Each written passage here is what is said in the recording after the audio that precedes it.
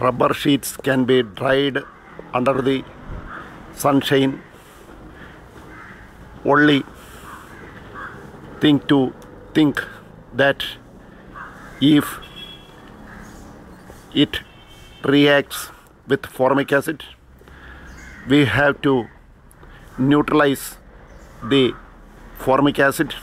After washing the fresh sheets we can dip it in the clean lime water to avoid the reaction of formic acid in sunlight. We can dry these sheets on shine sunshine within 5 days for sale.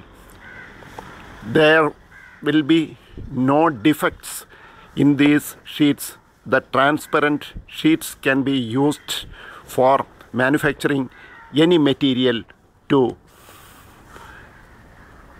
produce for sale. Formic acid reacts with heat solar sparks etc after neutralizing it there will be no problem on drying on sunlight. Thank you